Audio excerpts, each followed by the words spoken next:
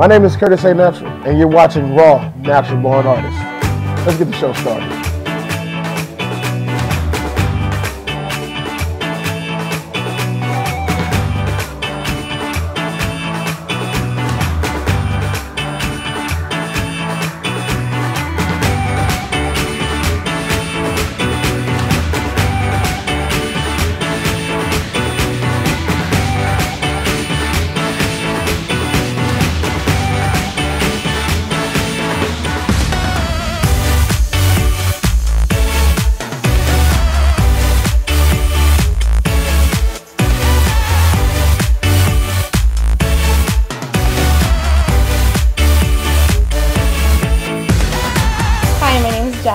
From Tilted Canvas Productions.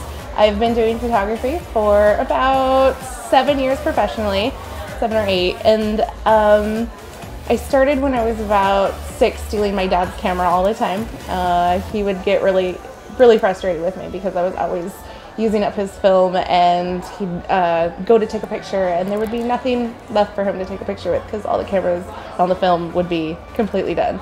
So when I turned about eight or nine, he gave me my first camera and it was like this Kodak and I remember being so excited because I would go around and I would take pictures of everything. I would take pictures of our cats and of the walls and shoes and pretty much anything and he'd get really frustrated with that too because it was really expensive to buy um, film. So he ended up making me have to do chores and everything for my film all the time. And I would like save every dime I could to buy extra film and then um, as I got older, digital cameras became the thing. Um, currently, I do photography for a lot of fetish uh, models.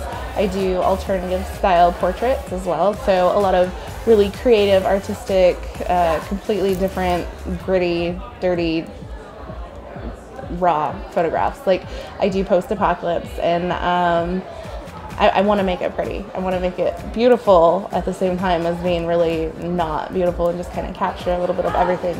And that's like a yearly shoot for me. I think the most fulfilling thing about photography for me is seeing the look on people's faces when they see their pictures.